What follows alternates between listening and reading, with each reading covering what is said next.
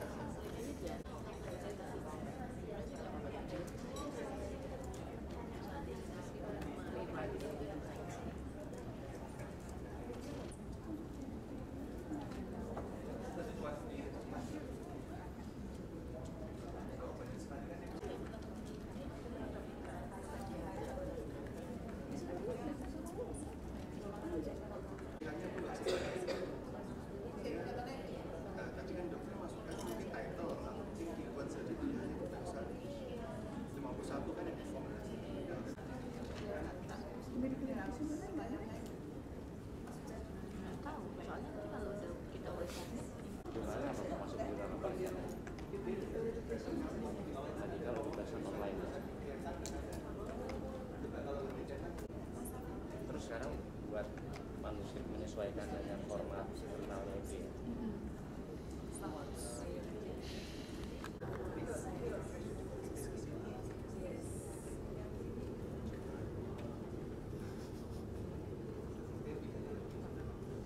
ya.